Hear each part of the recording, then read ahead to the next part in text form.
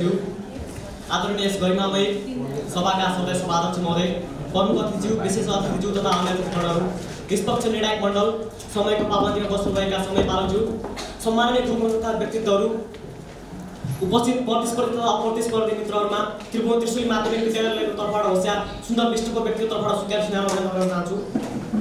आज मिति दुई हजार उनानब्बे साल चैत्र छब्बिस गते आगामी आउँदो वर्ष दुई हजार सालको शुभकामना आदान प्रदान कार्यक्रमको सुखद अवसरमा आयोजित विकास र समृद्धिमा स्थानीय सरकार भन्ने विषय लाभ प्रतिवेदनमा आफ्ना भनाइ राख्नुमा आफूलाई एकदमै आभारी ठानेको छु। सभाध्यक्ष महोदय। विकास मानव जीवनमा आउने सकारात्मक परिवर्तन- परिवर्तनलाई विकास भनिन्छ जसले मानव जीवनलाई सरल सहज बनाउने गर्छ। समृद्धि कर्त सुखी धनी सौभाग्यशाली हुन्छ।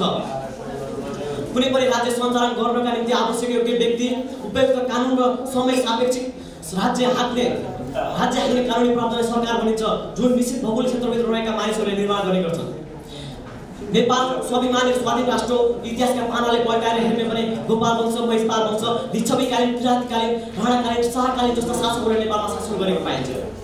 सभाध्यक्ष महोदय नेपाल बाइस चौबिसमा राज्य राज्यमा विभाजित नेपाललाई एकीकरण गरेर पृथ्वीनारायण शाहले सिंह नेपाल बनाए सभाध्यक्ष महोदय विभिन्न राणा शासकहरूको उन्मुक्तिसँगै विक्रम दुई हजार सात सालबाट नेपाल प्रजातन्त्रको भयो उदय भयो दुई हजार सत्र साल फागुन पुस एक गते फेरि राजा महे- महेन्द्रले निर्दलीय व्यवस्थाको सुरुवात गरी नेपालमा निर्दलीय व्यवस्था सुरुवात नेपाल पञ्चायत व्यवस्थाको सुरुवात गरे दुई हजार छयालिस सडचालिस सालबाट नेपालमा दलीय गठबन्धनको पुनर्बहाली भयो दुई हजार बैसठी त्रिसठीको पश्चात नेपालमा लोक लोकतन्त्र उदय भयो तत्कालीन संसदीय दलको गठनसँगै दुई हजार बहत्तर सालबाट नेपाल सङ्घीय मुलुकमा परिणत भयो सङ्घीयता भनेको कुनै पनि राज्य राज्यको शक्ति र स्रोतलाई केन्द्रीय प्रदेश र स्थानीय तहमा बाँडेर शासन गर्ने पद्धतिलाई सङ्घीयता भनिन्छ अथवा कुनै पनि राज्यलाई दुई वा सोभन्दा बढी तहमा विभाजन गरेर शासन गर्ने पद्धतिलाई सङ्घीयता भनिन्छ यो संविधानमा स्पष्ट पारिएको हुन्छ यो स्वायत्तता र साझेदारीमा आधारित हुन्छ यो विविधतामा रहेका राज्यको हरेक पक्षलाई स्वामित्व गरी राष्ट्र निर्माणको अवधारणा हो। यसै अवधारणा अनुरूप नेपालमा सात सय त्रिपन्नवटा स्थानीय तह एक केन्द्रीय सरकार र सातवटा प्रादेशिक प्रादेशिक सरकार रहेका छन्। जसमा छवटा उपमहा महानगरपालिका एघारवटा उपमहानगरपालिका एक सय छत्तरवटा नगरपालिका सैतालिस गाउँपालिका रहेछन् जसमा छ हजार सात सय त्रिचालिसवटा वडा सङ्ख्या रहेका छन्। कुनै पनि राज्यको विकास गर्नको लागि केन्द्र सरकारको अहम भूमिका रहेको हुन्छ। सभाध्यक्ष महोदय कुनै पनि सामान्य योजना विकास तर्जुमा भौतिक पूर्वाधार विकास र यातायात सेवा सुविधा सञ्चार जस्ता सामान्य लेखापढी कार्य गर्न केन्द्रीय कार्यालयमै हुनु पर्थ्यो। यसै प्रसङ्गमा भन्नुपर्दा हिजो बुढो बुवाले भन्नुभयो नाति अहिले घर घरमा सिंहदरबार आउँदैछ त।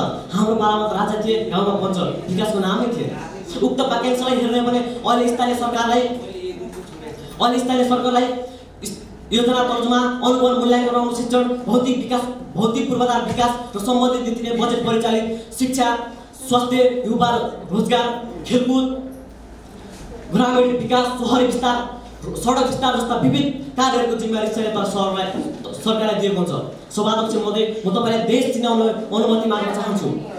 सभाध्यक्ष महोदय विश्वको मानचित्रमा एउटा यस्तो देश देखाउनुहोस्। एक लाख एकासी हजार एकासी वर्ग किलोमिटर रहेका हिमाल पहाड तराईका संरचनाहरू हेर्नुहोस्। तिरासी हजार मेगावाट जलविद्युत निकाल्न सक्ने क्षमता भएको मेरो देश नेपाल अहिले एउटा चाहिँ एम्बुलेन्स किन्नमा भारतको सहयोगबाट नेपालमा एउटा एम्बुलेन्स किनेर भनेर सडकमा हरन बजाउँदै हिँडिरहेको हुन्छ सभाध्यक्ष महोदय कुनै पनि विद्यालय सञ्चालन गरियो भारत निर्मित अमेरिकाले सहयोग गरेको अमेरिका अमेरिकाले अनुदान गरेको। अमेरिकाले अनुदान गरेको। अनुदानबाट निर्मित संरचना भनेर बोर्ड टाँसिएको हुन्छ सभाध्यक्ष महोदय अहिले विकास निर्माणका नाममा भनेका पूर्ति पुरस्कारहरूलाई अन्त्य गर्नको लागि स्थानीय सरकारको अहम भूमिका रहेको हुन्छ। सभाध्यक्ष महोदय म के भन्न चाहन्छु भने एउटा आज सामाजिक सञ्जालमा म देख्छु आज दुई हजार युवाहरू विदेश गए। आज सामाजिक सञ्जालमा म देख्छु सा शासक सङ्घीयताका नेतृत्वकर्ताहरूले नै आज सङ्घीयताप्रति असन्तुष्ट व्यक्त गरेका छन्।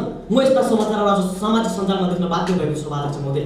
के मेरो देशमा स्रोत र साधनको कमी कमजोरी छ? पहाडमा दिइरहेका खानेहरूले गएर उत्खनन अडचालिस पोइन्ट आठ छ मिटरमा उचाइमा रहेको सगरमाथालाई हेर्नुहोस्। नेपाल पर्यटन पर्यटन र पर्यटन क्षेत्रलाई हेर्नुहोस् विदेशीहरूको एक मात्र पर्यटनको जानुहोस् विदेशीहरूलाई सोध्नुहोस् तपाईँ कुन देशमा घुम्न चाहनुहुन्छ तपाईँले दि घुमाउन लग्यो भने नेपाललाई भ्रमण रोज्छ उनीहरूले अहिले मेरो देशका युवाहरू पर प्रतिदिन दुई तिन हजारको दरले विदेशमा गएर खाडी मुलुकमा गएर काम गरेर पसिना कमाएर ल्याएको पैसा नेपालमा नेपालमा भित्रिरहेको छ। सभाध्यक्ष महोदय रेमिट्यान्समा चलिरहेको छ देश खै त विकास र समृद्धि। समृद्धि भन्दै अहिले समृद्धि र विकासका नाममा भएका कुर्ती र कुसंस्कारहरू रहेका छन्। सभाध्यक्ष महोदय। स्थानीय सरकारले स्थानीय सरकारले विकास र स्थानीय सरकारले भूमिका कसरी प्रदान गर्छ भन्ने कुरालाई व्यक्त गर्नुपर्दा आफ्नो वरपर रहेको स्रोत सदनलाई परिचालित गरी आफ्नो जनतालाई रोजगार दिलाए शिक्षा शिक्षा र सञ्चारमा शिक्षा र सञ्चारका ज्ञानमूलक प्रशिक्षणहरू दिए आफ्ना जनताहरूलाई रोजगार दिए आफ्नो आफ्नै अनुकूल नियम नियम र कानुन बनाए। नियम र कानुन बनाए उपयुक्त विकास र आवश्यक ठाउँमा बजेट परिचालित गरी विकास र निर्माणमा सहयोग गर्ने गर्छन् सभाध्यक्ष महोदय विकास र निर्माणका लागि मेरो देश नेपालमा रहेका खाद्य उत्थान नभएर अहिले एउटा एम्बुलेन्सको लागि विदेशीहरूबाट अनुदान आउन बाध्य भएको छ। युवाहरू विदेशमा जान बाध्य भएका छन्। नेपालमा बस्ने युवाहरूको सपना नै छैन। सभाध्यक्ष महोदय देश विकास उन्नतितर्फ छ भने देशमा रहेको स्रोत र शक्तिलाई परिचालित गर्न जरुरी हुन्छ।